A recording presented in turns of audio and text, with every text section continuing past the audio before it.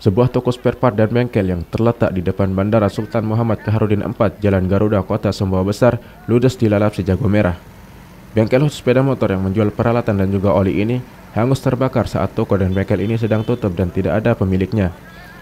Kepulan asap tebal akibat oli dan ban sepeda motor yang terbakar membumbung tinggi ke udara.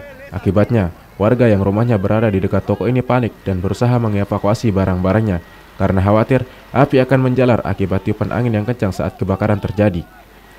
Selang beberapa saat, enam unit mobil penanggulangan bencana kebakaran milik BPBD Kabupaten Sumbawa tiba di lokasi dan langsung memadamkan api.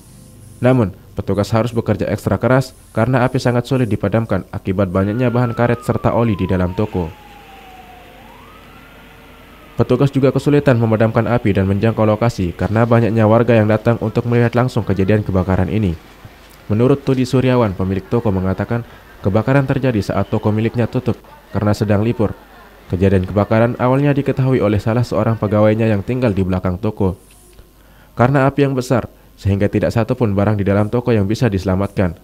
Belum diketahui penyebab kebakaran, namun kerugian diperkirakan mencapai 2 miliar rupiah. peristiwanya saya tidak tahu karena saya dapat telepon dari pegawai saya yang di belakang yang menyatakan bahwa uh, karyawan tidak menyebutkan karena mereka panik. Saya rasa memang untuk saat ini kita tidak bisa ngomong. Saya tidak berani untuk memastikan dan tidak berani untuk uh, memperkirakan kenapa. Karena kita tunggu saja nanti.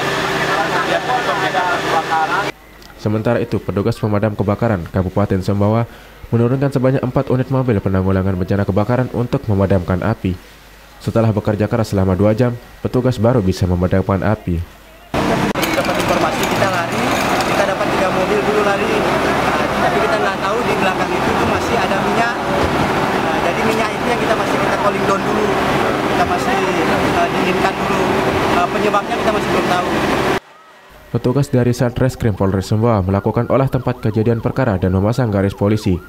Belum diketahui penyebab pasti kebakaran ini, namun dugaan sementara akibat arus pendek listrik. Beruntung tidak ada korban jiwa dalam peristiwa ini, namun kerugian diperkirakan mencapai 2 miliar rupiah. Kini kejadian kebakaran ini sedang dalam penyelidikan pihak Polres Sumbawa untuk mengetahui penyebab kebakaran. Dari Kabupaten Sumbawa, Nusa Tenggara Barat, Irwan Taliwang, Get TV.